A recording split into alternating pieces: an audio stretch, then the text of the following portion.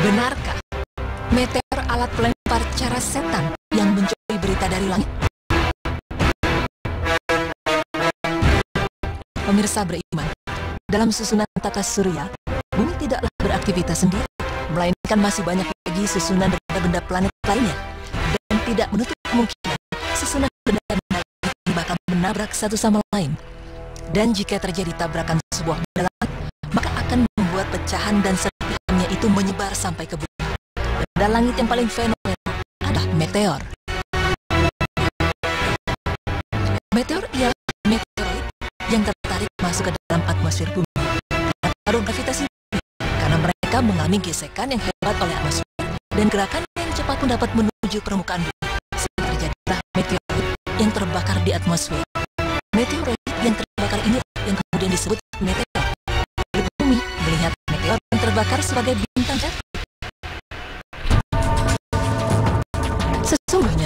meteor atau bintang berekor yang jatuh ke bumi sudah jauh-jauh hari dirincikan dalam Al-Quran, yakni 1400 tahun lalu. Rasulullah Shallallahu Alaihi Wasallam bersabda yang artinya, pada umat ini akan terjadi di akhir zaman penenggelaman bumi, hujan batu dan pengubahan berupa. Ada seorang dari kaum muslimin yang bertanya, kapankah peristiwa itu akan terjadi? Beliau menjawab, apabila musik dan wanita telah merajalela dan telah dianggap halal.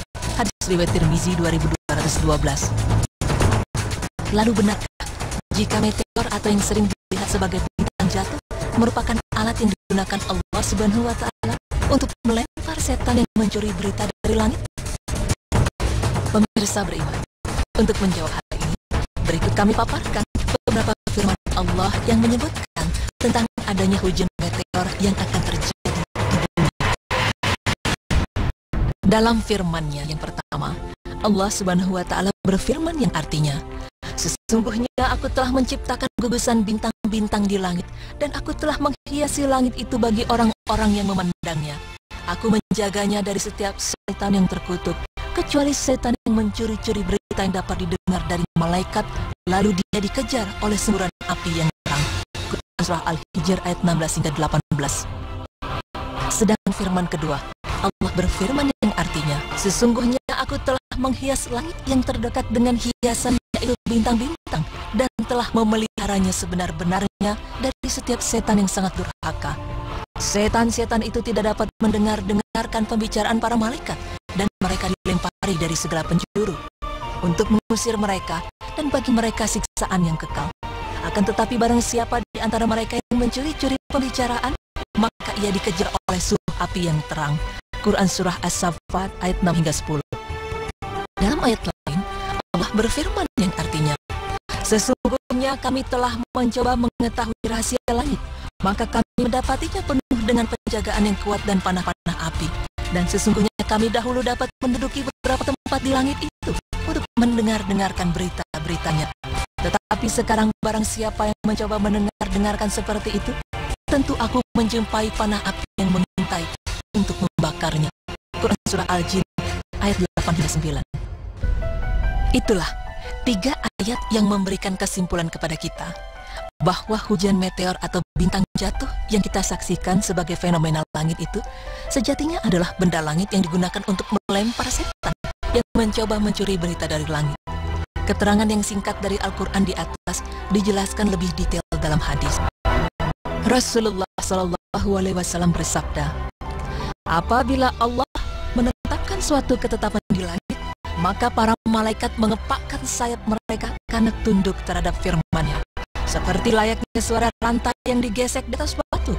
Setelah rasa takut itu dicabut dari hati para malaikat, mereka bertanya-tanya, apa yang telah difirmankan oleh Tuhan kalian? Malaikat yang mendengar menjawab, dia berfirman benar, dan dia maha tinggi lagi maha besar. Bisikan malaikat ini didengar oleh jin pencuri berita. Pencuri berita modusnya dengan pundi-pundian. Jin yang di bawah menjadi penopang, bagi jin yang di atasnya bertingkat terus ke atas. Jin yang paling atas mendengar ucapan malaikat, kemudian disampaikan ke jin bawahnya, dan seterusnya, hingga jin yang paling bawah menyampaikan kepada tukang sihir atau dukun. Kadang mereka mendapat panah api sebelum dia sampaikan kepada dukun, dan berhasil disampaikan sebelum terkena panah api. bercampur dengan seratus kedustaan, sehingga ada satu yang benar. Mengatakan, kankah Pak Dukun telah mengatakan demikian tidak benar? Akhirnya sang dukun dibenarkan dengan satu kalimat yang dicuri dari langit. Hadis riwayat Bukhari 4800.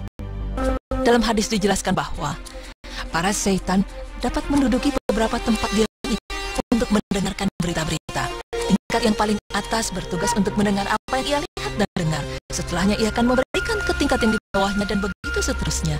Hingga berita tersebut sampai pada jin yang ada di bumi untuk dibocorkan kepada manusia yang memiliki iman lemah. Sehingga kabar dari langit biasa disebut ramalan. Lantaran tidak semuanya akurat. Ya, bagaimana mungkin bisa akurat jika para jin hanya mampu mendengar seadanya?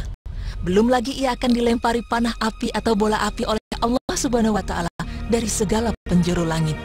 Sedangkan jika dilihat menurut ilmu astronomi, terdapat ribuan bahkan jutaan benda yang melayang di langit, mulai dari planet, bintang, batu-batuan seperti meteor, bahkan satelit.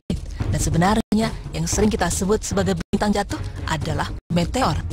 Ya, meteor terkadang bergerak mendekati bumi yang akhirnya akan tertarik oleh gravitasi bumi. Namun sebelum menyentuh bumi, sang meteor akan bergesekan dengan atmosfer. Di mana akibat gesekan yang begitu dahsyatnya, sehingga menimbulkan percikan api yang biasa disebut bintang jatuh. Lalu, apakah meteor akan menghantam bumi setelah bergesekan dengan atmosfer? Hal itu tergantung dari ukuran sang meteor sebelum bergesekan dengan atmosfer. Pada saat bergesekan, ukuran meteor akan berkurang dan semakin mengecil bahkan habis. Namun di beberapa kasus, ada meteor yang lolos dari gesekan akibat ukuran yang begitu besar dan akhirnya menghantam bumi. Maka jelas bahwa menurut ilmu astronomi, bintang jatuh sebenarnya adalah meteor yang bergesekan dengan atmosfer. Jadi pemirsa, seperti yang telah disebutkan dalam hadis, bahwasanya benar kalau setan itu dahulu dapat mendengar berita dari langit melalui malaikat dengan cara menggunakan meteor. Akan tetapi, para setan sekarang tidak bisa lagi mendengar berita dari langit karena apabila mereka mencoba mendengar, maka panah-panah api akan mengintai bila mereka ingin mencari tahu berita-berita dari langit.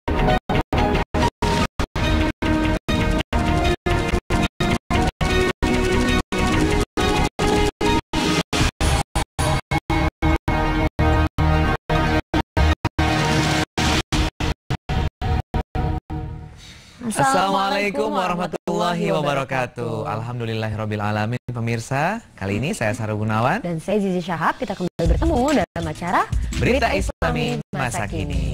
Dan tadi sudah dibuka mengenai meteor ya atau Meteor. bintang jatuh. Mhm. Secara ilmiah sudah dijelaskan. Tapi ternyata dalam Al-Qur'an itu disebutkan bahwa meteor itu terjadi karena itu ada setan yang mencuri berita dari Mencuri langit. berita dari langit dan akhirnya Allah melempari meteor ke Iya. setan itu. Ah. Betul sekali ya dan uh, sudah jelas berarti informasinya semua. Mhm, Dan nanti katanya di akhir zaman eh, manusia-manusia yang menghalalkan khamar Mhm. akan dijatuhkan meteor juga. ah.